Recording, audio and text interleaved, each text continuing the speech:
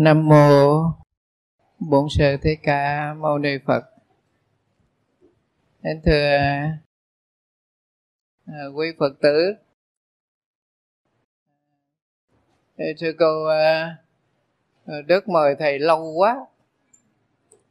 Mời hoài à, mà đi không được. Tội nghiệp lắm. Mỗi lần mà cô cô mời thầy cái thầy ờ, chuẩn bị đi hoàng pháp xa. Rồi không có nhận lời. Ờ, hôm nay ờ, năm nay thầy không có không có đi ăn cho nên đi, đi ăn là cũng không có ở nhà. Hôm nay không có đi ăn nữa. Ở nhà lo dù lan. Hôm nay thầy giảng cho quý vị cái bài kinh ngắn ở trong tăng nhất a hàm thì đức phật có kể một câu, một bài pháp ngắn, nội dung nó thế này. Như lai nói, ở thế gian có bốn hạng người. Người thứ nhất, bây giờ giàu, mà ngày sau cũng giàu. Cái hạng người thứ hai, bây giờ giàu mà đời sau nghèo cái hạng người thứ ba. Ờ, bây giờ nghèo mà đời sau giàu. Cái hạng người thứ tư. Ờ, à, người, người hạng người thứ ba thôi. Bây giờ nghèo sau cũng nghèo. Cái người thứ tư là giàu sau cũng giàu. Bốn hạng người. Thầy nói lại. Như lai nói thế gian có bốn hạng người người thứ nhất bây giờ giàu, mà sao nghèo? Người thứ hai là bây giờ nghèo là sao giàu? Người thứ ba là bây giờ nghèo, sao cũng nghèo? Người thứ tư là bây giờ giàu, sao cũng giàu? Bây giờ chúng ta thảo luận bốn cái người đó. Thứ nhất là giàu đức phật nói giàu có hai cách. Cái giàu bằng vật chất, nhà cửa, ruộng vườn, xe cộ, vật chất. Cái đó là cái giàu.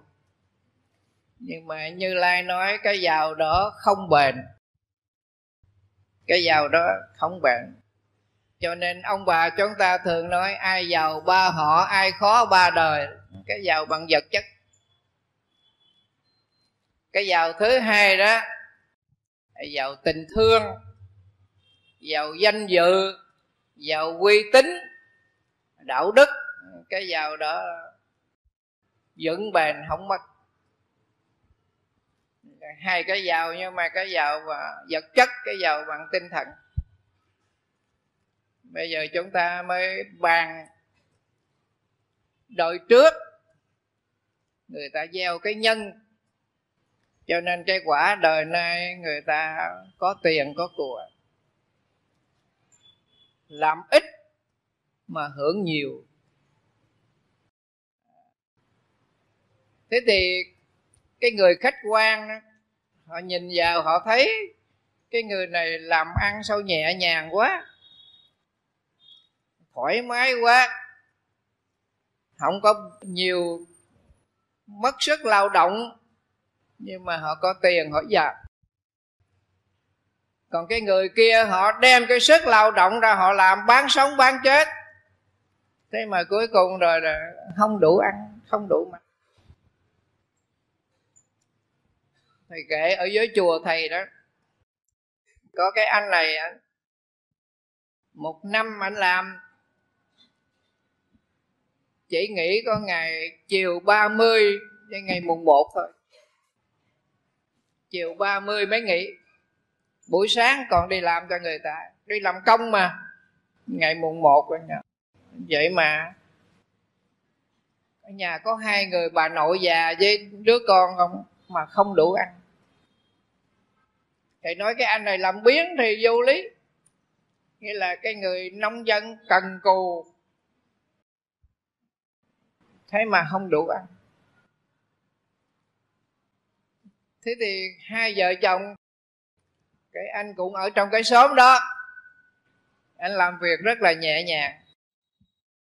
Nhưng mà vợ chồng con cái học hành rồi, kinh tế rất là khá, nhưng mà cái cái anh này lại nghèo. Như vậy, thì đức phật dạy rằng, người ta bố thí ở đời trước, cho nên cái đời này, cái của đó họ làm rất dễ. Quý vị nên nhớ là không ai muốn mình nghèo đâu. Không ai mà. Thầy có cái người cậu ruột thầy nha. Mẹ thầy thứ chín mà cậu thầy thứ thứ sáu. Ông ngồi ông nói chuyện đó. Thì mình nghĩ là chừng năm, sáu tháng ông giàu. Cái kế hoạch của ông tính, rồi cái cách làm ăn của ông là ông nói hay lắm. Giống như là một kỹ sư nhưng mà cuối cùng đời bây giờ đấy cũng có cái quần tiều không không nói hay lắm. Bởi vì sao? Tức là cái nhân mình không có tạo thì cái quả mình không được. Nhân quả.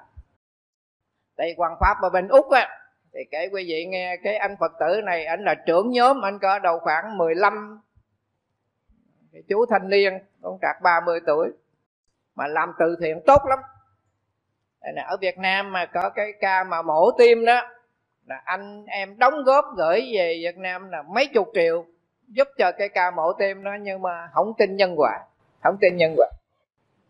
Cái bữa ta thầy giảng ở chùa hòa Nghiêm, thì cái anh trưởng nhóm mà anh mới nói còn còn mấy thằng bạn đâu, tốt lắm sư phụ, làm từ thiện tốt lắm, nhưng mà không có tin nhân quả. Sư phụ nói cách sao cho mấy anh em họ tin thầy nói chiều nay đó nhóm ở đâu đó. Thầy tới thầy thăm thầy nói chuyện. Thầy chiều hôm đó là anh em họ à, tập trung cái nhà của anh trưởng nhóm đó có cái lò bánh mì. À, đem xe nó rước thầy tới đó. À, thầy mới hỏi sáng đó mấy chú dùng điểm tâm một bữa.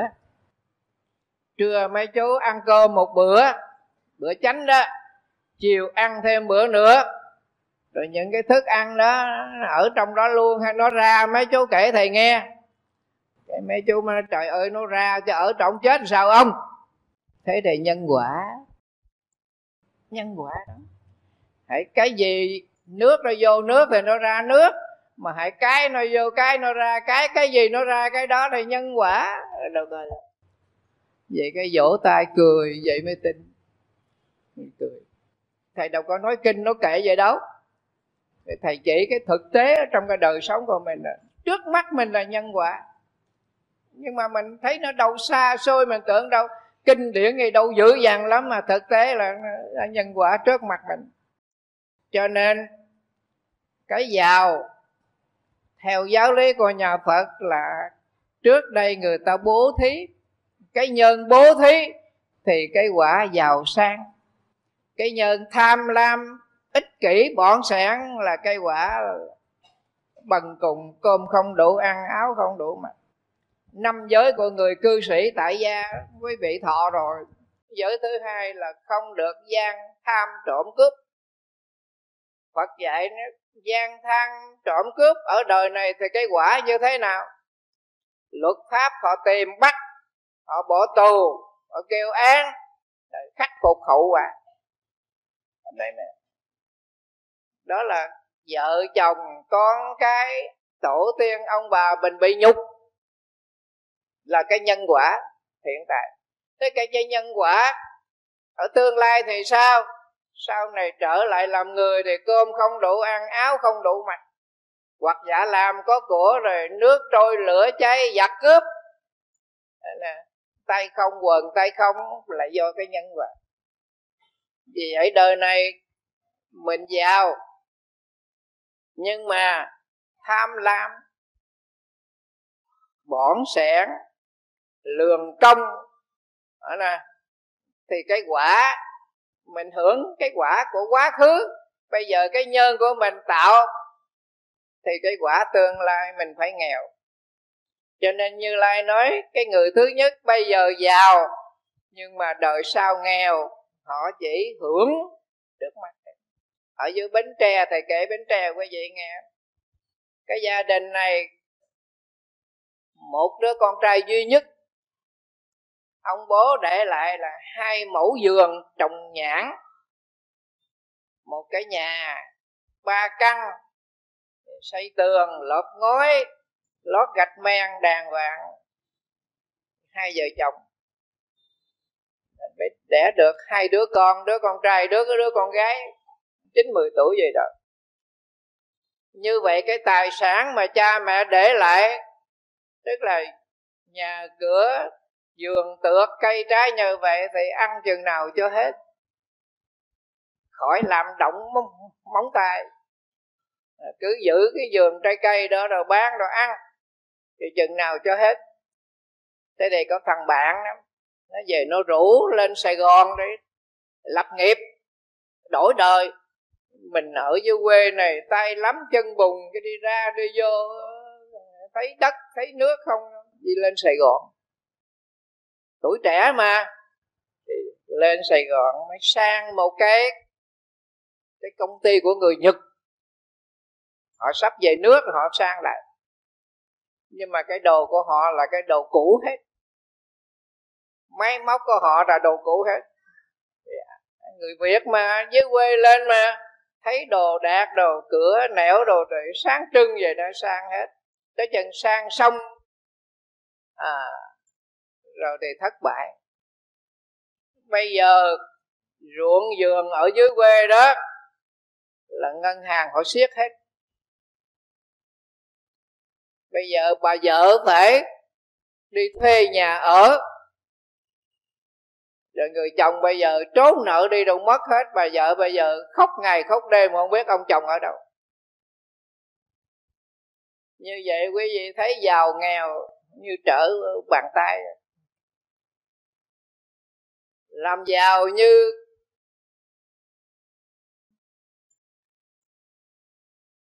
mình đi từ nấc từ nấc, từ thang như rùa bò, nhưng mà nghèo như ngựa chạy chỉ buổi sáng, buổi chiều mình thấy được sự nghiệp tiêu tan hết. Cho nên mình đừng thấy là cái hiện tại đó, tài sản nhà cửa giàu có vậy. Ai giàu ba họ, ai khó ba đời. Cho nên như lai nói, nếu như đời trước họ tạo cái nhân, bây giờ họ hưởng cái quả họ giàu có, họ biết bố thí họ biết thương người, họ biết giúp người, thì cái của đó họ san sẻ với nhau.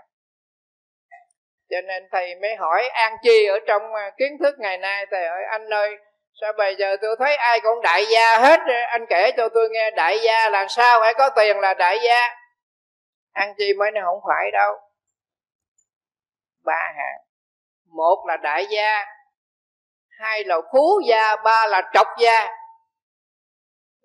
đại gia thứ nhất là như là trần trọng kim như là nguyễn du, như nguyễn đình chiểu. Những cái hạng người này, họ đem cái sở học của họ họ ra họ phục vụ cho xã hội, cho thế hệ tương lai bất vụ lợi. Cái hạng người đó mới gọi là đại gia. Trong xã hội chúng ta mà kiếm được cái hạng đại gia đó đỏ con mắt khó kiếm lắm chứ không phải dễ đâu. Cái hạng thứ hai tức là phú gia tức là cái người này có tiền giàu nhưng mà bỏ tiền ra lập cô ký nhi viện lập nhà thương dưỡng lão nuôi người neo đơn già cả tức là đem cái đồng tiền này ra họ làm cái việc nghĩa cái việc ăn, đó. Cái đó gọi là phú gia như bà từ vũ, bỏ tiền này chú quả. Những cái người này họ có tiền, họ giàu, nhưng mà họ bỏ cái đồng tiền, họ làm cái chuyện nhân nghĩa để lại cho cho đời sau. Gọi là phú gia. Chưa phải là đại gia. Còn cái hạng thứ ba đó là trọc gia, chữ trượt. Mà đọc trại thành chữ trọc, tức là làm ăn phi pháp tiền của nhiều, nhưng mà ăn xài một cách vô bổ, vô ích. Không giúp cho ai, không làm cái gì lợi lạc cho những người chung quanh. Thế thì những cái người đó, cái hạng người đó gọi là trọc gia, thì trọc gia nhiều. Chứ phú gia thì ít, nhưng mà đại gia thì hiếm lắm hiếm lắm. Cho nên quý vị thấy trong cái xã hội của chúng ta, mới hồi nào đó, tay lắm chân bùng bây giờ có cái cơ duyên tạo ra được tiền bạc xong rồi đã ăn xài một cách vô bổ vô ích. Đem đồng tiền ra làm cái chuyện là vô nghĩa. Thì thử hỏi cái nhân quả đó cái việc làm đó quý vị thấy nó có bền không? À, vì vậy cho nên chúng ta là phật tử.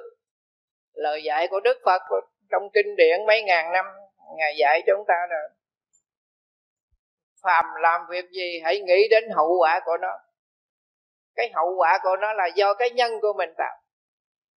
Trong giáo lý của nhà phật dạy là nè cái nhân quả nó có ba trường hợp. Một là hiện báo hai là sanh báo ba là hậu báo. Cái nhân quả mà mình thấy trước mắt. Gọi là hiện báo. Thí dụ như mình đánh chuông mình thổi kèn thì nhân quả nó đồng thời người ta dễ nhận người ta dễ thấy. Mình cầm cái dùi chuông mình chạm vào cái thành cái chuông thì vang ra tiếng chuông tức khắc. Đâu có đợi dây nào. Cái kèn mình thổi thì vang ra tiếng kèn liền. Cái đó là, là gọi là hiện báo. Thứ hai là sanh báo, tức là từ nhân tới quả, nó có cái thời gian ngắn hoặc dài. Thí dụ như chúng ta nấu cơm, từ khi lấy gạo, bỏ vô nồi cắm điện hoặc là bắt lên lò chụm thì bốn chục phút, một tiếng đồng hồ sau mới có cơm ăn. Thế thì chúng ta làm cơm rượu thì nấu sôi rồi mới dọ duyên đem ủ, ba ngày sau mới có cơm rượu ăn, nhân quả ba ngày.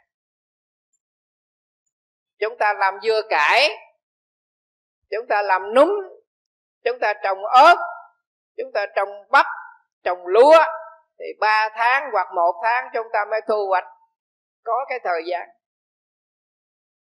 Trồng cây lâu năm, có thể là 5 năm 3 năm mình mới thu hoạch, thì mình còn có thể thấy được đời mình trồng mà con cháu mình mới hưởng.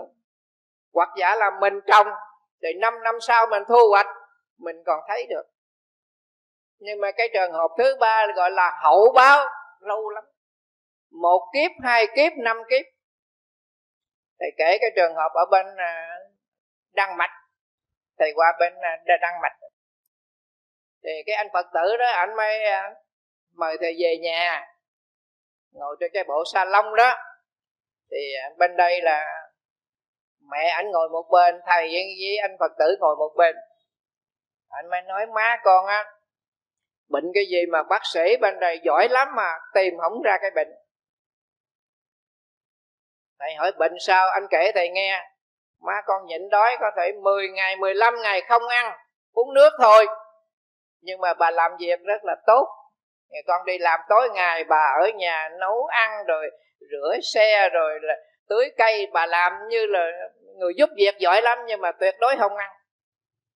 Qua cái thời gian đó bà ăn lại đó, một ngày bà ăn ba con gà. Còn ra ngoài shop còn mua con gà về luộc, bà chấm muối tiêu, bà ăn ba con. Còn linh tinh là chuyện bữa khác nữa. thầy nói nghe thầy hết hồn anh mới nói, thầy nghĩ rằng ba cái con gà đó mà làm cổ mà đãi hai chục người ăn hết không? Má con ăn hết một ngày ba con. Cái bà mới trả lời, bà nói, nó nói thêm tôi đó, thầy. Ở nhà có hai mẹ con nói ăn cái gì tôi ăn cái đó, chứ mà nó nói tôi ăn gì ma quỷ nó ăn cho, ai ăn dữ vậy? Rồi bà xác nhận là bà không có ăn ma quỷ nó ăn. Thầy mới nói, được rồi. Để tôi kiểm tra, tôi coi thử coi sau khi thầy kiểm tra xong, thầy nói, trong người của bà có một người đó ăn cho phải bà ăn. Hoàn toàn bà không ăn được như vậy, mà cái người đó họ ăn. Bà mới chỉ vô người, bà nói, cái con nữ này nó gian ác lắm. Hồi kiếp trước nó ỷ nó có tiền, nó thuê người ta giết tôi. Tôi theo tôi báo nó là ba kiếp. Mà cái cậu nam này nè, chỉ người con trai nó, có hiếu lắm đi làm cả ngày cho về tối tụng kinh niệm phật hồi hướng đó đỡ đó chứ không thôi còn tệ hơn nữa. À, thế thì mình mới biết là ở trong người của cái bà đó có một cái người cái quan hồn đó là họ báo quán. Chứ không phải bà đó ăn. Nghĩa là cái người con đã xác nhận là má tôi không thể ăn hết ba con gà một ngày. Không thể ăn hết. Mà ở đâu ai ăn? Ờ, cứ chấm muối tiêu ăn rồi chứ không có làm cổ là xào chiên gì hết, ăn vậy ba con gà thôi đó là cái chuyện ờ, hậu báo. Thầy qua bên mã lai, cái cơ sở của pháp sư tịnh không ở mã lai đó lớn lắm cái bà mẹ nuôi của pháp sư đó khi qua đời cúng dường cho pháp sư một cái tài sản ở mã lai lớn lắm và một số tiền ở trong nhà băng lớn thầy qua đó thì mày thấy cái bà này người ba tư. Mà cái mặt của bà đó một bên này đó là nó to ra này có thêm một con mắt nữa có cái lỗ mũi nữa có cái miệng bên này nữa. Bên này thì bình thường nhưng mà mép bên bên tay tay mặt của bà đó thêm một con mắt nữa thêm cái lỗ mũi thêm cái miệng nữa. À, tức là mình vừa mình thấy hết hồn luôn. Thầy ba mới từ ba tư bà về mã lai, bà tìm pháp sư tịnh không? Để pháp xong tịnh pháp sư tịnh không đó là giải quan cho bà là bà bây giờ bà bệnh như vậy đó thì quý vị thấy rằng có một cái quan hồn, có một cái người thứ hai nữa. Cho nên cái mặt nó chia ra là hai mặt.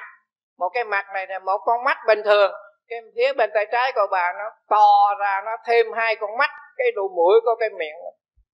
Chính con mắt thầy thấy đang vậy như vậy cái đó là hậu báo thứ ba nữa ở vĩnh long. Thầy kể ở vĩnh long long hồ, vĩnh long. Cái bà này, hai cô con gái ở bên pháp, ba cậu con trai ở quê nhà trồng bưởi da xanh, khá lắm, gia đình khá lắm. Thì hai cô con gái mới về hỏi phước. Mới thưa với thầy là má con cái nghiệp gì nặng quá thầy. Mỗi lần ăn cơm đó, thằng con, thằng em con á nó đánh mà chảy máu miệng mới ăn chứ không đánh bà không ăn. À, thầy nghe lạ quá thầy mới theo hai cô đó thầy xuống dưới quê nhà đó. Thì thầy xuống tới nhà đâu khoảng 11 giờ. Thì thầy mới uống nước thầy nghỉ ngơi chút thì cái cậu con trai đó nó nó cởi xe gắn máy ở trong giường nó ra nó dừng cái xe ở trước cái sân đó. Bà ngồi trên cái ghế mây nó đứng thẳng tay nó tát một bên ở trên 10 cái tát chảy máu miệng nó bỏ, nó đạp xe, nó đi về. Thì cái con cháu đó, nó mới rửa mặt, rửa mày đồ, làm vệ sinh xong, bà ăn một tô cơm. Mà cái tô đó đó là thanh niên ăn, chứ bà già ăn không không có nổi đâu. Cái tô thiệt lớn ăn hết. May đánh nữa mới ăn, mà không đánh là không ăn. Sáu năm trời như vậy đó cái tối thầy ở lại đó, thầy mới kêu ba chú con trai với hai cô con gái đó tới. Có mặt á, thầy mới hỏi, bà có năm đứa con? Bây giờ hai cô gái này bên pháp thôi bỏ ra đi. Bây giờ ba cậu con trai ở việt nam nè, tại sao mấy chú không chia với nhau? Đánh mỗi một người đánh một bữa hay hoặc một tuần mà cái chú này đánh không, còn hai chú kia không đánh. Thì hai cái chú mà không đánh á, chú hỏi chứ má, thầy thầy đánh được không? Tay chân nào mà má mà đánh cho nên thương quá đánh không được. Còn cái chú này sao đánh? Không đánh này má thu ăn cơm chết sao? Thương má mới đánh. Còn cái thương má mà không đánh. Như vậy là thầy thấy cái kết quả của nó chưa? Như vậy cái quan trái này, bà già này với cái đứa con mà nó đánh đó, còn hai cái người này là không có quan trái. Cho nên nó thương nó không đánh còn cái cậu này là cậu nói cậu đánh là cậu thương má, cậu mà không đánh thì không ăn cơm, chết sao? Cho nên thương mà đánh đánh mà chảy mau miệng mới ăn. Thầy thấy thầy lắc đầu thôi, sáng đi về về. Xe thầy gửi ở ngoài lộ á. Cái bà chủ quán đó, bà không có lấy lấy tiền. Thầy mới ghé đó kêu, mấy chai nước ngọt bốn? Thầy trò, mày uống nước. Thì cái bà má của cái bà chủ quán đó bà nhắc ghế, bà ngồi kê bên, bà nói, mấy thầy đi vô cái nhà cái bà mà mỗi khi ăn cơm con bà đánh là phải không? Thầy gật đầu, thầy nói, lần thứ nhất tôi thấy chuyện đó lạ quá. Đức phật dạy, vô thường là khổ, đói khổ hơn vô thường. Đói thì đi kiếm ăn chứ tại sao lại người ta đánh mới ăn? Đói xấu lắm. Không có cái gì xấu bằng bằng cái đói hết. À thì cái bà bà già bà nói quý vị ở xa quý vị không biết đâu. Tôi kể cái lai lịch cho gia đình đó cho quý vị nghe. Ông nội của bà ta hồi xưa là hội đồng quản hạt ở đây ác lắm. Đánh người ăn người ở và sách chỗ già đánh. Ờ, bây giờ nó trở lại nó đánh bà. Hồi xưa ông hội đồng đánh ai đó bây giờ nó trở lại nó ân quán giang hồ nó trở lại, nó đánh bạn. Mà là ba đời như vậy chứ phải một đời. Ông nội, rồi đời cha, bây giờ bả là đời con. Thì cái này nó trở lại. Cho nên, quan gia trái chủ có nghĩa là đòi nợ và trả nợ. Mình nói quan gia trái chủ mà không biết quan gia trái chủ là nghĩa sao? Đòi nợ và trả nợ. Đến cái cuộc đời này, đòi hoặc trả thế thôi đòi nợ để trả nợ máu là một, nợ tình là hai, nợ tiền là ba. Thì ba cái nợ này là phải trả, gọi là, quan gia trái chủ. Đó là mấy cái trường hợp thầy kể cho quý vị nghe là cái hậu báo.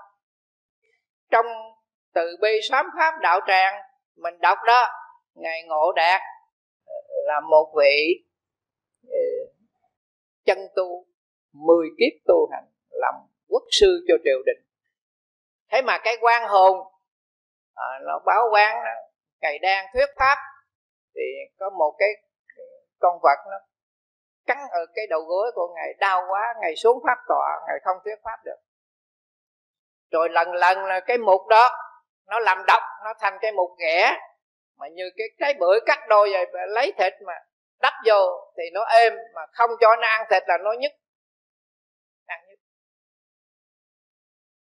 Thế là chúng ta mới thấy là 10 kiếp tu hành của ngộ đạt, chỉ có một cái kiếp cuối cùng là vua đường thi tôn tọa cái thiết lập cái tọa cụ bằng trầm hương cho ngài ngồi ngài thuyết pháp.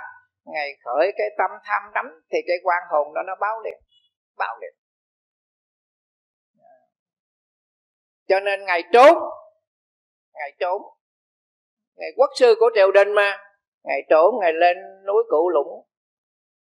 Ngày lên núi cụ lũng. Thì khi mà ngày, lúc mà ngày tu ở chùa đó, thì có một vị du tăng, họ đến chùa đó họ tá túc mà mình mấy họ ghẻ lỡ không hôi lắm, không có ai chăm sóc hết, chỉ có ngộ đạt chăm sóc thôi. Thì sau thời gian cái vị du tăng đó đó, họ từ giả họ đi, thì họ nói với ngộ đạt là ngày sau đó, cuộc đời tu hành của ông đó gặp phải một cái tai nạn gì đó lên núi cụ lũng, dòm lên ở nửa lần chân núi đó, có cái cây tùng. Thì tôi ở đó lên đó tôi giúp cho. Bây giờ ngài ngộ đạt ngài nhớ cái câu chuyện đó ngài lên núi đó ngài lên ngài tìm cái vị sư ngày xưa đó. Thì vị sư ngày xưa đó tiếp nông hậu lắm. Nhưng mà sáng ngày mai hai thầy trò mới có cái phương án để giải quyết cái chuyện đó thì khuya ngộ đạt xuống cái cái chân núi đó phát cái nước đó rửa rửa cái bục ghẹ đó. Để đầu tiên hết đó ngày nhất ngày xỉu liền. À, ngày mới dừng lại một thời gian ngắn thì ngày phát nó ngày rửa một lần nữa thì cái mục ghẹ nó mới nói rằng ngài là người học rộng, hiểu sâu. Ngài có nhớ câu chuyện viên án với triệu triệu thố. Tôi là viên án, ngài là triệu thố. Ngài tu với triều đình giết quan tôi giữa chợ, cho nên bây giờ tôi tới đâu báo quan. Thế thì 10 kiếp tu hành của ngộ đạt, mà cái câu chuyện báo quán đó bây giờ ngài ngộ đạt phải chịu cái mục ghẻ đó như vậy cái chuyện đó là 10 kiếp mà cái nhân quả phải trả thì nó thuộc về hậu báo, chứ không phải là sanh báo, hiện báo. Mình có thể là mình thấy được, mình hiểu được. Cái trường hợp thứ nhất là hiện báo, cái trường hợp thứ hai là 10 năm, hai chục năm mình còn thấy được, nhưng cái hậu báo đó xa quá, mấy kiếp vẫn còn phải trả cái kiếp. Hậu báo. Cho nên như lai nói nhân thì quả, nhân quá khứ thì quả hiện tại, nhân hiện tại thì quả tương lai. Đời này họ giàu là do cái nhân, đời trước họ tạo cái nhân bố thí. Bây giờ họ tham lam bỏn sẻn, họ lừa đảo. Thì cái nhân đó hiện tại thì quả tương lai, như lai nói, ngày sau người đó họ nghèo. Bây giờ cái người thứ hai, như lai nói, bây giờ nghèo mà sao giàu? Nghèo mà sao giàu như vậy, nghèo bằng vật chất, chứ không nghèo bằng tinh thần. Đức phật nói, người ấy nghèo bằng vật chất, nhưng giàu bằng tinh thần. Người đó giàu bằng vật chất, nhưng mà nghèo về đạo đức. Thầy kể cái chuyện ở thành phố quý vị nghe. Cái cô giáo dạy mầm non mà nuôi bà mẹ suy thoái cột sống một đứa em gái nó bị tâm thần, nó lên cơn rồi nó kéo đầu cô giáo nó đập. Thế mà hàng tháng cô đóng góp cho cái quỹ là, chữ thập đỏ ở phường đó đều đặn không sót tháng nào hết. Ít nhiều thì không cần biết nhưng mà đều đặn. Thì cái bà chủ tịch chữ thập đỏ ở phường đó thì cuối năm làm cái lễ tổng kết, thì cái cô giáo này đã được tuyên dương là tặng bằng khen. Bị cô đóng góp trọn một năm không thiếu tháng nào hết nhưng mà cái buổi lễ tổng kết đó, bà cô giáo không đi dự. Bà chủ tịch đó phải mang cái bằng khen đó tới nhà để tặng cho cô giáo đó. Thì trước khi bà đến cái nhà đó, bà thấy là hai cái nạn nhân bà mẹ này suy thoái cột sống nằm một chỗ. Mà đứa em gái của cô giáo này là nó bị tâm thật ngơ ngơ ngáo ngáo. Mà chừng mà nó lên cơn thì nó đè đầu cô giáo nó nó đập. Thế mà cái tiền đóng góp cho cái từ thiện của chữ thập đỏ trong phường này không thiếu tháng nào hết. Như vậy cái người đó giàu hay nghèo. Nghèo lương mẫu giáo bao nhiêu mà nuôi hai cái mạng người rồi mà còn để đóng góp cho cái chữ thập đỏ ở phường đó, đều đặn không thiếu đâu ở ngoài bà rịa thầy có cái bà bà đi bán cơm rượu xôi giò, nuôi hai đứa cháu ngoại. Ba má nó cơm không lành canh không ngọt, rồi bỏ má nó má nó phải lặn lội rồi, rồi buông đi bán rồi tai nạn giao thông má nó chết ở ngoài đường bà ngoại phải nuôi hai đứa đứa đứa nhỏ. Nhưng mà chùa thầy cái công tác từ thiện đó làm này bà đóng góp tích cực hơn những người khác. Đóng tích cực. Thì một hôm thầy mới hỏi bà bà gánh cái gánh con rượu sôi giò một ngày bà lời được bao nhiêu? Bà nói cái ngày mà nắng ráo đó bán hết đó thì khoảng bảy, tám chục ngàn. Còn cái bữa nào mà mưa gió đó thì thôi, bà cháu về nghiên cứu. Cái mưa ai ăn? Thầy nói như vậy là cái chi phí hàng ngày để bà lo mà làm sôi, làm cơm rượu vậy đó. Rồi nuôi hai đứa nhỏ nữa. Mà tiền ở đâu mà bà đóng góp cho cái hội từ thiện của chùa đều đặn như vậy, bà đóng trội hơn người ta bà mới trả lời thế này nè. Con biết thưa thầy. Bây giờ con cho chúng nó ăn. No đủ dư giả, nhưng mà chỉ ăn thôi. Bây giờ con mới nhín lại một chút để con làm từ thiện, con bỏ ống. Đâu có mất thầy. Mình bỏ ống trong con heo đó, mấy đồng thì mình đập ra được mấy đồng. Mà mình không có đồng nào thì mình đập ra con heo không, đâu có mất đồng nào đâu. Con tích lũy cái công đức đó để cho con cháu con ngày mai nó hưởng. Bà nghèo, bà trả lời với thầy như vậy. Thì như vậy chúng ta thấy rằng bây giờ họ nghèo, nhưng mà họ không tham lam. Họ nghèo nhưng mà họ trung thực. Họ nghèo mà họ biết chia sẻ. Họ nghèo, họ biết thương người. Thì cái nhân này như lai nói, đời sau họ giàu bây giờ quý vị biết cái công ty nam phương đó, phương nam đó, cái công ty nhà đất đó, họ đến họ cất cho bà một cái nhà đó mấy trăm trăm triệu. Mấy trăm triệu. Họ nghe họ nghe cái danh của bà bà làm từ thiện, bà làm đó họ về họ cất cho nhà bà cái nhà. Còn cái việc này nó mới trớ trêu rồi hai ông bà ở giữ cái nhà đó, ở Vũng Tàu đó 21 năm giữ không mà 21 năm. Bây giờ có đứa đứa cháu, mà cái chủ nhà đó về bán ở nhà đó cho người khác, mà không cho hai vợ chồng ông bà một cách nào hết. Mà cho biết cái ngày đó là sẽ bàn giao nhà người khác, báo cho ông bà biết kiếm chỗ khác ở. Giờ hai ông bà khóc khóc. Tám chục tuổi rồi. Mà bây giờ ở giữ cái nhà đó mà họ bán là 4 tỷ rưỡi cái nhà đó bán cho người nước ngoài 4 tỷ rưỡi, không cho ông bà đồng nào hết. 21 năm. Bây giờ quý vị nghĩ rằng, mướn người ở mà không có cơm, thì một tháng là bao bao nhiêu? Quần áo, cơm, nước, bây giờ tính là 21 năm, thì hai ông bà sẽ được cái số tiền ra ngoài mua đất, các cái nhà ở bình thường, không cho đồng nào hết.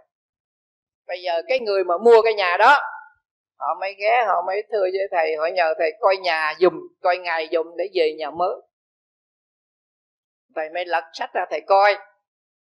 Thì bà mới tâm sự, bà nói, thầy coi bán nhà mà không cho hai ông bà già cắt nào hết, thầy coi ăn ở như vậy đó. Giàu chứ đâu có nghèo. Thì bà kể cho thầy nghe, thầy nói, thôi bây giờ tôi với bà săn tay làm việc nghĩa nha. Bà cho tôi số tiền. Bà mua 4 tỷ mấy được, bây giờ bà cho tôi xin 300 triệu thôi. Thầy mới đi mua miếng đất trăm năm chục triệu thầy kêu cái anh phật tử, thầy đó, bây giờ thầy có nhiều tiền đó mà các cái nhà không có đủ cấp bốn không đủ, bây giờ chú phải làm.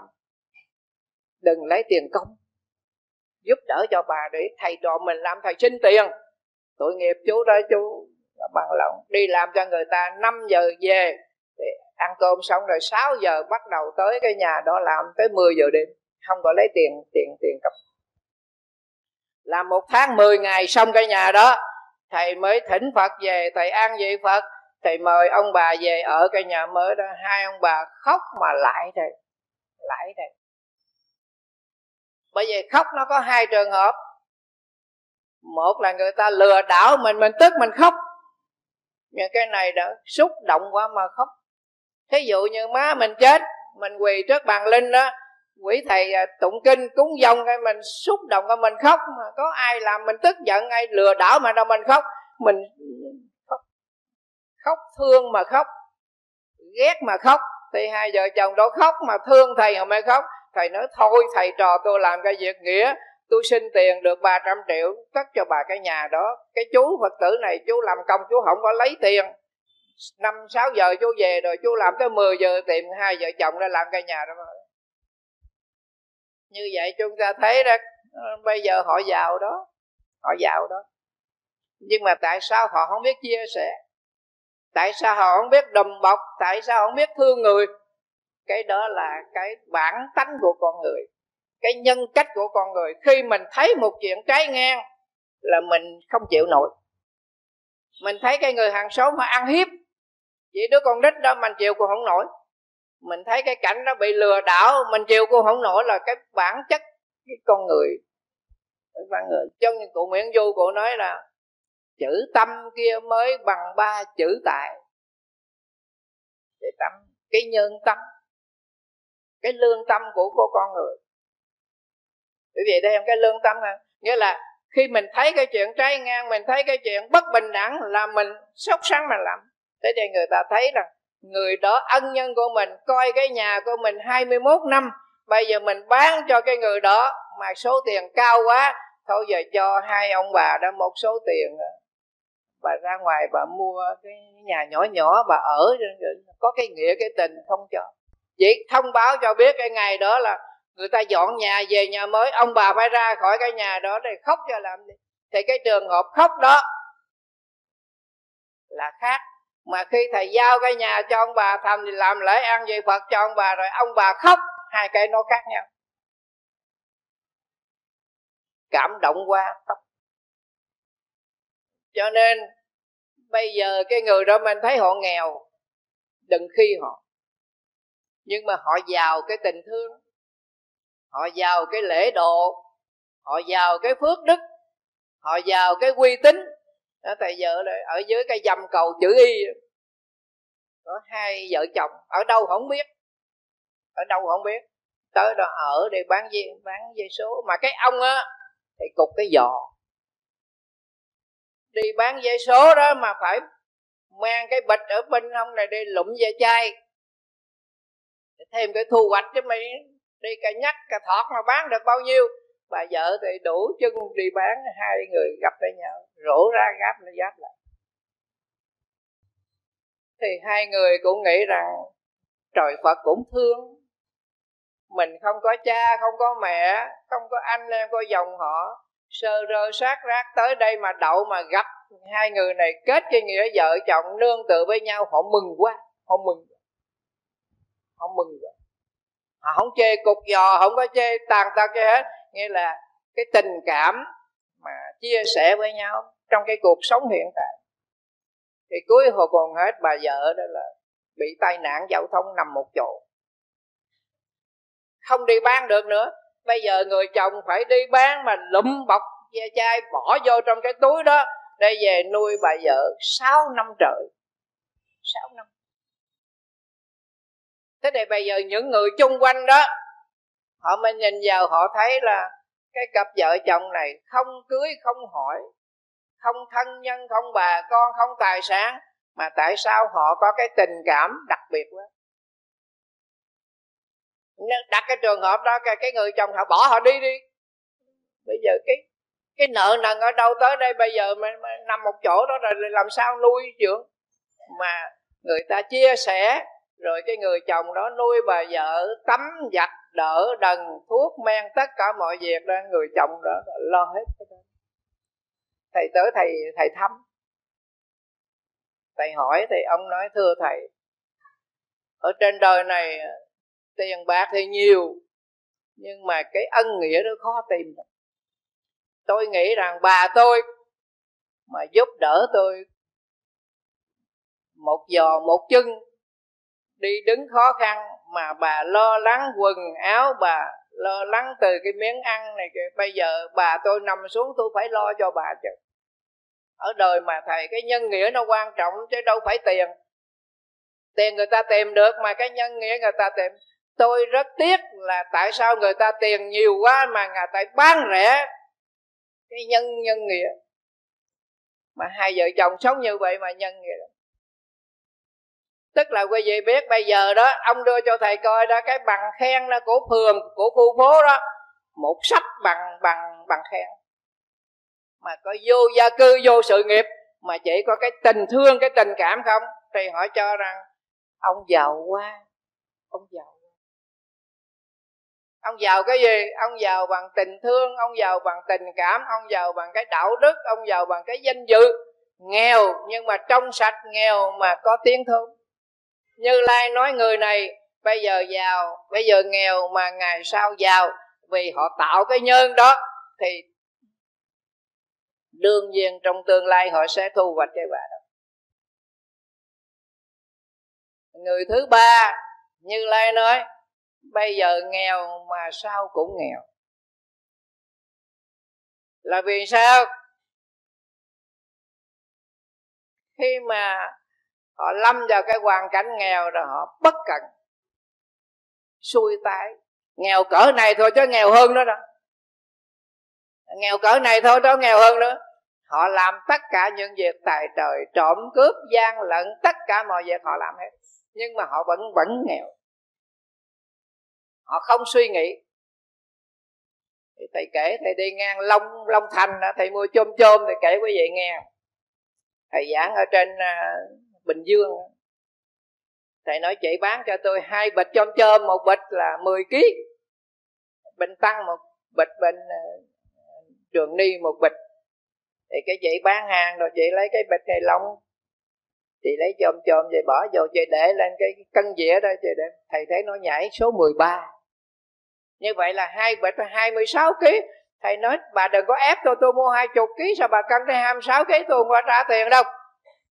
Bà nói, thưa thầy, con bán cho thầy là khác, cái cân của con là cái cân nghề nghiệp. Vậy là quý vị biết lại cái cân nghề nghiệp. Thầy làm thinh thầy không nói vậy thầy mới nói thế này chị bán ở đây đó là phải có lời. Cái chẳng lẽ rồi chị bán rồi, chị bán vốn, chị bán lỗ rồi ở nhà thì lấy gì ăn? Cái lời này về nhà, chồng ăn nè, con gái, con trai, dâu rể, cháu ngồi, cháu ngoại nó ăn. Nó không có chia mà cái tội mình là nhận lãnh hết. Chứ nếu như những người trong thành viên trong gia đình, người chia một chút, nó họ không có chia, họ ăn không mà họ không chia.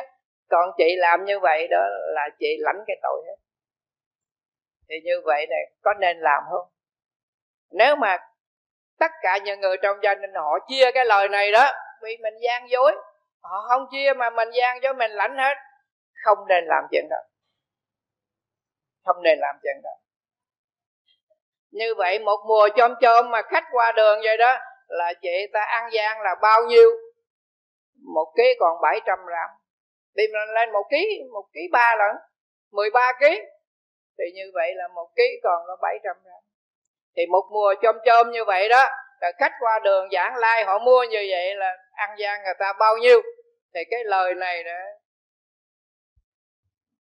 tất cả thành viên trong gia đình họ chia nhau họ ăn, mà cái tội là mình nhận hết. Cho nên thầy nói như vậy là không nên làm, không nên làm.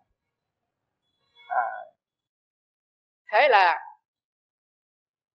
khi họ nghèo, là cái giáo lý của nhà Phật nói là trước đây họ tham lam bọn sẻn, họ không có thực hành cái pháp bố thí, cho nên bây cái đời này họ nghèo, họ buông xuôi luôn. Nghèo cỡ này tôi chứ nghèo hơn rồi họ sẽ làm tất cả mọi việc để có cái nguồn lợi. Nhưng mà cái nguồn lợi này là bất hợp hợp pháp, bất hợp pháp. Lường gạt, gian lận, làm cho có để mà giải quyết cái chôm cơm gạo áo tiền. Nhưng mà thật ra nghèo. Cho nên ông bà mình mới nói là nghèo cho sạch, rách cho thơm. Nghèo nhưng mà phải giữ cho sạch, rách cho thơm. Đừng có làm những cái chuyện phi pháp. Rồi thì cái quả cái nhân đó bây giờ mình tạo đó thì cái quả trong tương lai đó là phải nghèo hơn nữa.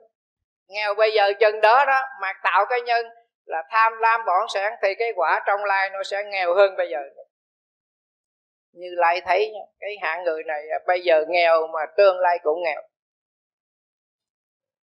Thế thì quý vị thấy đó, cái người nghèo ở chung với người nghèo đó là sao? Trong cái số này nghèo hết, không ai cả rồi con đau, con bệnh mà đi chạy, đi mượn tiền, đi hỏi là không ai có hết, ta nghèo hết à bực mình ở cái làng, cái số gì mà đi mượn, không ai có, để ta nghèo hết mà, bực mình gì đó cho nên, nghèo ở dưới nghèo cũng khổ. Người ta không có gì hết á. Mình ở giữa có người khá người giàu, người nghèo. Họ tương trợ với nhau, họ giúp đỡ với nhau. Còn này ở nghèo hết, nghèo ở dưới nghèo trong kinh bát đại nhân giác, đức phật nói là, bần quán đa khổ, hoành kết ác duyên. Bần khổ đa quán, tức là cái người nghèo khổ, họ nhiều cái quán hận lắm. Họ thấy người ta có ăn, có mặc, họ ghét ghét một cách ngang xương. Hoành kết ác duyên, trong hình học có tục trung tục hoành, chứ hoành là ngang. Cho nên họ ghét cái người khá giả, họ ghét người ngộ tiền, họ ghét một cách ngang xương ở ngoài bà rịa thầy đó, có cái gia đình ở ngoài miền trung. Vụ mùa 300 mét vuông cất một cái villa thiệt lớn. Rồi bốn còn cho bạc rề. Xây tường lên ba thước. Thăm cung. Không có ai tới lui, không có giao lưu với ai hết. Hai thằng con trai mua hai chiếc xe phân khối. Khuya nó chạy in in in. Mấy cái người mà đau tim ở gần đó cũng muốn rớt tim ra ngoài luôn. Không chơi với ai không giao lưu vậy rồi cái xóm nó nghèo. Cái xóm lao động nó nghèo mà. Họ thấy cái gia đình nghèo, cái gia đình giàu mà không có giao lưu mà con cái đồ nó, cái cư xử nó nó nó không có lễ phép, họ ghét. Con họ đi cầu, họ bọc ni lông họ dục vô. Bà ra bà thấy bà chửi mai nó dục cho hai bịch, bà chửi. Mốt là giật cho bốn bịch, bà chửi. Bữa kia nó dục cho tám bịch, bà chửi. Nó dục cho mười sáu bịch. Rồi bán nhà đi luôn. Hết chửi nổi rồi. Bây giờ nó nhiều quá, hết chửi nổi rồi. Thế thì sao? Lý do sao? Thì họ ghét. Bằng khổ đa quán, hoành kiết ác duyên. Nghĩa là cái người nghèo họ có cái cái cái sự hận thù một cách kỳ cục. Rồi họ ghét cái người đó, họ không ai chọc ghẹo gì hết họ ghét. Thì chính vì cái ganh tị đó, cho nên trong thập nguyện phổ hiền của ngài, phổ hiền vậy đó, nhất giả lệ kính chư phật, nhì giả xưng tán, như lai tam giả quản tu cúng dường tứ giả sám ngũ giả tùy hỷ công đức. Cái câu thứ năm, tùy hỷ công đức tức là dạy mình đừng có ganh ghét. Đừng có ganh ghét. Mà ở đời là cái ganh ghét cái thù hằn là cái bản chất của con người nó âm ỉ ở trong này. Đó. cho nên mình cái câu thứ năm đó tùy hỷ tức là ngài dạy cho chúng ta là, là bỏ cái tâm ganh tị. Mà cái ganh tị cái thù hằn cái ghét bỏ là một cái đại quả là một cái chủng tử căn bản. Thầy kể chuyện nhà bè quý vị nghe. Bữa đó thầy giảng ở chùa xá lợi á, cái bà đó bà tới bà gặp thầy, bà mời thì bà trình bài cái chuyện riêng của nhà bà. Bà mới kể là bà có bốn người chị em gái, mà có một người em đi tu bên khất sĩ thì gia đình của bà bán đất chia cho mỗi một đứa con gái ra một tỷ bạc. Thì cái cô đi tu này cũng được một tỷ. Ba chị em nó ba tỷ. Thì cái cô tu này đó cổ bảy chục tuổi rồi cổ mới sinh với tỉnh xá ra cho cổ về. Bây giờ lớn tuổi rồi, không có làm việc chúng nổi. Sẵn mẹ có cho một tỷ đó cắt một cái nhà cấp 4 về đã ở để dưỡng bệnh thì cổ bỏ ra 300 triệu của các cái nhà xong rồi cổ về. Thì cái đứa em út á, nó mới nói bây giờ còn 700 triệu chị đưa cho em em đi kinh doanh, em trả lời cho chị cho bỏ nhà băng không bao nhiêu tiền đâu, lãi ít lắm. Thì cô này mới đưa 700 triệu cho đứa em, không có giấy tờ gì hết. Em được mà giấy tờ gì? Xong rồi thì cổ ở được ba tuần lễ thì cổ ngã bệnh, đưa vô bệnh viện 115 ở bệnh viện 115 được 3 tuần, thì bác sĩ mới nói, thôi đưa về đi. Cô lớn tuổi rồi, muốn ăn cái gì cho ăn này lo hậu sự cho ở đây là tốn tiền. Bác sĩ cũng bó tay không nè bà chị thứ hai mới rước cô về cái nhà đó, nhà của cô đó. Ở được mấy tuần nữa, bà thấy khó quá. Thuốc, men, quần, áo, ăn uống, chăm sóc, tắm rửa, có mình bà chị thứ hai à. Cho nên bà thấy nó một cảnh hai quê, nhà của bà, rồi tới người em này rước cái cô này về. Về nhà của bà chị thứ hai. Thì trước khi mà cô này về nhà, bà chị thứ hai, mới kêu đứa em lại mấy mấy biểu hoàn cái số tiền lại cho chị. Chị đưa 700 triệu ra bây giờ hoàn lại cho chị. Thì còn nhỏ em nó nói, đưa cho ai chứ không đưa cho em, đừng có nói tào lao. Nó không trả thì hai người chị gái biết, nhưng mà nói không được. Giấy tờ đâu mà nói. Đưa thì biết mà bây giờ đòi lại nó nói đưa cho ai không đưa cho nó, đừng có nói tào lao. Thế thì bà chị thứ hai mới đưa cô này về nhà ở được một tháng, cô mới chết. Trong này giận lắm. Sống để bụng chết, đem đem theo tức quá mà họ đưa nó nó dễ dàng. Bây giờ đòi nó nó nó đưa cho ai không đưa cho nó nó thì bà chị, bà mới lật cái hồ sơ ra là sư cô hiến xác cho y tế. Bây giờ bà mới điện thoại cho sở y tế của thành phố xuống chở cái xác cái cô này. Rồi làm cái bàn thờ để kế bên cái bàn phật ở đây, làm cái bàn thờ nhỏ nhỏ vậy đây. Tối sư cô hiện hồn đi cung nhà hết trong nhà đó năm người, hai vợ chồng bà chị đó. Thì hai vợ chồng, thằng con trai, đứa cháu nội với đứa con gái nữa, năm người. Thấy, có khi thấy ở nhà tắm, thấy ở nhà dưới, thấy ở cầu thang vậy là thấy cô hết sợ quá. Chạy qua chùa xá lợi, nó nói với thầy, bây giờ trường hợp đó là sao? Thầy nói, đi bữa nào thầy qua thầy coi. Thôi về đi. Thì mấy bữa sau thầy mới ghé, thầy mời hết trong trong nhà tới thầy nhắc cái ghế, thầy ngồi chỗ cái bạn linh đó. Thầy mới nói, cô đi tu hồi 16 tuổi, bây giờ 70 tuổi. Đạo Phật, quý là những cái người đồng chân nhập đạo. Không có vợ, có chồng, không có nợ, có nần, không có tạo cái nghiệp của thế gian, quý lắm quý lắm. Thế này bây giờ cô hiến sát cho y tế nữa. Tốt là tốt hơn hai cái việc này tốt hết cả cuộc đời thanh xuân của mình hy sinh cho Phật pháp. Mấy chục năm, bây giờ chết rồi hiến xác cho y tế.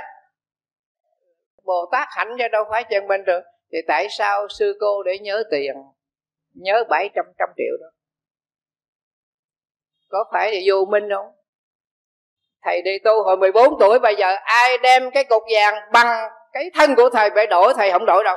Không. Trí tuệ vì sự nghiệp chứ đâu phải lấy tiền vào sự nghiệp. Đi tu cả một cuộc đời, đồng chân nhập đạo, chết rồi hiến xác cho y tế. Bây giờ nhớ 700 triệu đó là thành cô hồn ngạ quỷ là đúng. Đúng. Sống đầy bụng chết, đem đem theo. Này đem theo đó, đem theo cái gì? Đem theo cái hận thù, đem theo cái danh lợi của thế gian. Cái danh lợi của thế gian, đem theo cái hận thù đó bây giờ thầy khuyên sư cô, xả ly, bỏ. Xả mấy hỷ, chứ không phải hỷ xả. Buông bỏ cái hận thù, buông bỏ cái cố chấp, buông bỏ cái danh của thế gian đó. Mình theo phật, theo pháp, theo tăng, để tu hành, giải thoát. Thầy nói về cái nhập vô bà chữ thứ hai đủ khóc quá trời đủ khóc. Ngồi khóc hụ hụ vậy thầy để cho khóc. Còn chín mười phút rồi đó, trời qua thầy nói bây giờ bỏ chưa? Xả ly chưa? Xả. Quý vị thấy không? Cái nghiệp nặng cho nên, bây giờ mình giàu, đời sau cũng giàu. Bây giờ mình nghèo, đời sau cũng nghèo là hai cái nghiệp này. Cái nghiệp bỏn sẻn, tham lam, hận thù, cố chấp, thì cái quả của nó như vậy đó. Mà cái nhân đó là thương người cái nhân bố thí cái nhân biết là, là sang sẻ. Thì cái nhân đó thì cái quả trong tương lai giàu ngày sau cũng giàu. Nghèo ở chung với nghèo cũng khổ. Bây giờ giàu ở chung với với, với, với, với giàu. Cái bà phật tử bà kể thầy nghe. Bà nói con đâu có thiếu tiền thầy.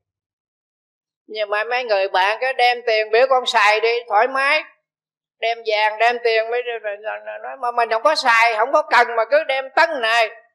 Nói sao vậy? Thì mấy bà hồi xưa đó, bố thí. Cho nên đức phật dạy là, mình bố thí mà không khuyên người khác bố thí. Đó là là cái nhân, cái quả đời sau đó nghèo ở chung với giàu. Bây giờ mình bố thí mà không khuyên người khác bố thí thì đời sau mình giàu ở chung với nghèo nghèo ở chung với giàu, cái nào cũng bực mình. Bây giờ mình bố thí, mình khuyên người khác bố thí, thì cái quả trong tương lai mình giàu ở chung với người giàu. Mình không bố thí, cũng không khuyên người khác bố thí, thì đời sau cái quả nói nghèo ở chung với nghèo. Cái nhân quả hết. Cho nên, giáo lý của đức phật ngài nói một cách rất là đơn giản. Đơn giản. Dễ hiểu. Nhân nào thì quả nấy. Người ta không tin. Người ta không tin. Tức là thầy giới thiệu cho quý vị cái cuốn sách bài học ngàn vàng của hòa thượng thích thiện hoa viết. Gối đầu giường. Mỗi người mua cuốn rồi để cái gối đó. Tối nào cũng đọc là vài chuyện rồi ngủ. Đó nè cái câu chuyện đó, cái nguyên nhân của nó thế này. Vua đi kinh lý, đi ngang qua cái thị trấn nghèo ở thôn quê, thì lính của triều đình đi làm an ninh, thì gặp cái ông già bán bài học ngàn vàng. Lính mới nói, ông lão đi chỗ khác, tránh đi chỗ xe của nhà vua đi qua. Ông lão nói, vua đi là vua đi. Mặt vua còn lão bán quyền của lão, mắt gì bị đuổi lão lính của triều đình tới mấy tâu với vua nói ông già đó ngạo mạn lắm. Hạ thần đuổi ông đi ông nói vua đi là mặt vua còn lão bán là, là lão bán. Vua hỏi cho ông bán cái gì? Lính của triều đình nói thấy treo cái đải ở trên cái, cái đầu cây gãy tre đó bằng bốn ngón tay vậy mà ông bán bài học ngàn vàng. Vua nói mời ông lão đó tới đây gặp trẫm thì ông lão đó mới tới gặp nhà vua vô hỏi cho ông lão bán cái gì, nói, lão bán bài học ngàn vàng. Ủa, sao thấy nhẹ quá mà ngàn lượng vàng gì nó thấy nhẹ quá mà phải cho trẫm coi coi thử coi. Không được, tiền trao cháu múc phải đủ ngàn lượng vàng mới cho coi không đủ, không cho coi nhà vua mới nói, thôi được, lão ngồi đây chờ đi. Trẫm cho lính trở về triều đình chở một ngàn lượng vàng đi nhưng mà trẫm hỏi chơi nhà ở đâu, vợ con ra làm sao? Gia thế như thế nào? Ông lão nói, không có nhà cửa, không có gia cư, không có bà con. Vua nói, nguy hiểm lắm. Một ngàn lượng vàng cất ở đâu? Ăn cướp nó giết chết. Đừng có dạy. Ông lão nói, bệ hạ lo xa quá. Trẫm biết bán là trẫm biết xài, bệ hạ đừng có lo. Rồi nhà vua mới cho người chở một ngàn lượng vàng đến giao mới trao cái đãi cho vua, cầm thấy nhẹ quá, không có gì hết.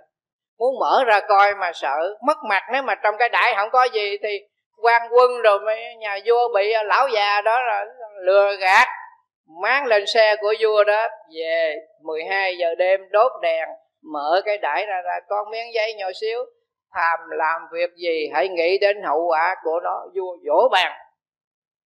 Già già đó tới số, trẫm làm vua, trẫm không có tin nhân quả trẫm biểu ai chết là chết, biểu ai sống là sống.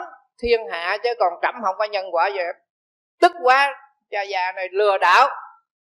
Ngủ không được, sáng mai kêu cái ông quan đại thần mà tin cậy nhất đó, đi tìm cái ông già bán bài học ngàn vàng đó, đem về đây, chặt từng khúc từng khúc từng khúc, thả trôi sông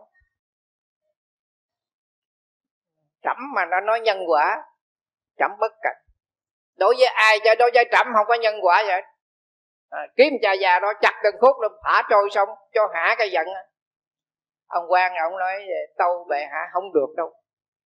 Bệ hạ nói như thế này nè ai tìm được cái ông già bán bài học ngàn vàng ngày hôm qua đó đưa ông về triều đình nhà vua thưởng thêm bài học đó quý quá. Chứ bây giờ bệ hạ biểu kiếm cái ông già đó chặt làm tám khúc là không bao cái giờ kiếm được đâu. Thiệt kiếm không được. Kiếm hoài không biết ông già đâu để tới bây giờ nhà vua mới đem cái ông quan đại thần đó, mà nhà vua tiết lộ cái chuyện đó, giết. Bởi vì nè, ông già nó không biết thì vợ ông ở nhà biết, con ông biết, dòng họ ông biết là bể mặt nhà vua hết. Vua mà bị cái ông già đó đó lường gạt thì giết ông quan đại thần này. Thì con trai con quay trai quan đại thần đó là hoàng cái làm thống soái như bộ quốc phòng bây giờ đó. Nghe nhà vua giết cha mình, đem quân về loạn thần, mất nước. 20 năm sau. Câu chuyện hai bên sao nhà vua phụ quốc được, nhà vua mới truyền lệnh. Cái chén của vua cũng có cái câu phàm làm việc gì hãy nghĩ đến hậu quả nó. Cái cửa buồn của vua cũng, cái giường của vua nằm, nghĩa là tất cả đồ ở trong triều đình, nhất nhất cái chỗ nào mà nhà vua thấy đều có cái câu phàm làm việc gì hãy nghĩ đến hậu quả của nó. Đó là bài học ngàn dạng quý vị tìm về đọc gối đồ dược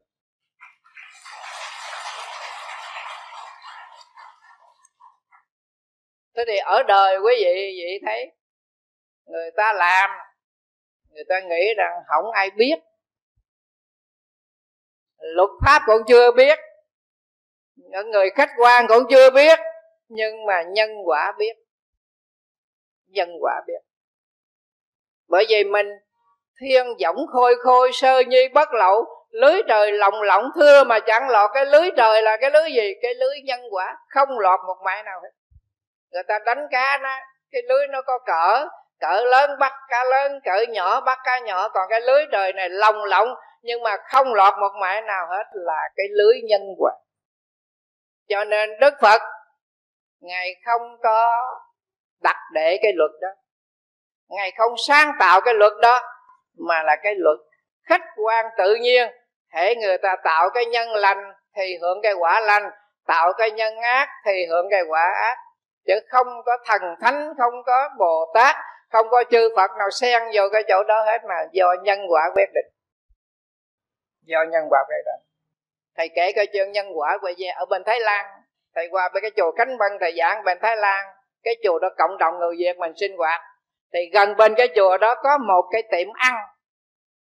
Nhưng khách sạn không có khách sạn mà cái tiệm nhưng mà cái ông chủ, cái quán ăn này, ổng tạo ra một cái món ăn là khách sạn năm sao ở thái lan không có. Thầy nói quay về đừng có bắt trước nha. Ờ thì đừng bắt trước nguy hiểm lắm. Ông mới lấy một cái miếng sắt, ông làm một cái lồng lưới kẽm, vừa bỏ con vịt vô thôi.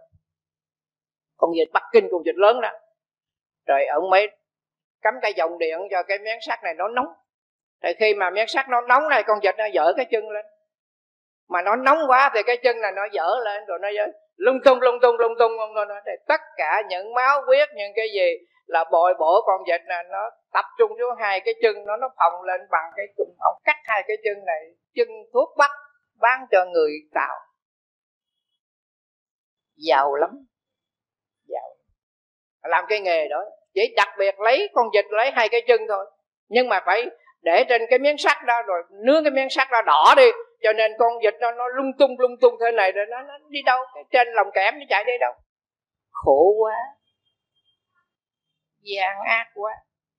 Giàu có quá. Bây giờ ổng ngã bệnh mà hai cái chân ổng á nó trong bóng nó to như cái mình vậy như cái chân hai con vịt vậy mà bác sĩ không chữa được. Rồi họ mới dẫn thầy tới cái nhà đó thầy coi hai cái chân cái ông đó bây giờ bán hết nhà cửa tài sản để chữa cái chân đó mà không hết. Mà do cái nhân là ổng làm cho con vịt đó, hai cái chân nó phồng lên, ổng cắt, ổng chân thuốc bắc bán cho người khách. Bây giờ hai cái chân ổng nó trả cái quả lại là nó to như cái mình trong bóng luôn. Thầy dòm thầy thấy là thầy rung rồi, hai cái chân rung. Như là cái con heo quay đó ở ngoài đường mà họ quay con heo đó cái da con heo quay đó sao thì cái chân ông vậy rồi mà trong bóng nó to là hai cái chân vậy mà chữa không được không được. Thầy qua bên mỹ hòa tượng ờ, ông mới dẫn thầy vô trong cái bệnh viện đó, đó. cái ông bác sĩ này người thiên chúa 46 tuổi. Ông có cái thần nhãn. Cái bệnh nhân đó mà bác sĩ chữa rồi mà không có khả quan thì ông mới dùng cái thần nhãn ông xem ông coi cái quá khứ của cái người đó hồi xưa đó làm cái nghề gì bây giờ mắc cái bệnh mà chưa không được. Thì có cái có cái bà đó. À, hai cái đầu gối của bà nó như hai cái trái trái dừa vậy đó sưng to lên vậy đó mà bác sĩ chữa không được. Thì ông mới dùng cái thần nhãn ông xem ông coi cái quá khứ của cái bà này đó hồi xưa là cái gì làm cái gì bây giờ phải mắc cái quả mà cái bệnh như vậy mà chữa không được thì ông ấy nói là ngày xưa đó, cái bà này là một tù trưởng, đi coi một cái trại tù. Nhưng mà ông coi cái tù nào mà nó phá kỷ luật, nó trốn trại đó, ông lấy búa sắt, ông đập hai cái đầu gối bể hết lết. Cho nên bây giờ nó mắc cái quả báo đó, hai cái đầu gối nó to như bà chữa không được. Mà ông viết ông để trong cái bệnh viện là 400 cái tài liệu đó vậy mà thầy đâu có đọc được đâu mấy người họ đọc họ kể cho thầy nghe hai, ba chuyện. Còn cái bà kia đó, là cái mình của bà nó giống như cái cái dấu mà cào. Nó mèo, nó cào, lớn lắm. Nhưng mà nó vừa khô mặt thì nó lỡ. Cái vừa khô mặt nó lỡ. Bác sĩ chữa không được. Thì ông ta mới dùng cái thần nhẫn. Ông ta nói, hồi đế chế la mã nó, cái ông này là một sĩ quan. Mà ông bắt được tù binh, ông cởi đồ, ông bỏ vô cái chuồng cọp cho cọp nó wow cho bây giờ cái thân mình của ông nó wow vào đâu thấy thấy dễ sợ lắm cái gì cho nên chúng ta nói nhân quả nhưng mà chúng ta chỉ biết trên giấy mực. Chúng ta chỉ nghe thiên hạ nói lại nhưng mà chúng ta chưa thấy là cái nhân quả báo ứng ngồi hiện tiền chúng ta mới sợ. Là, nhưng mà mình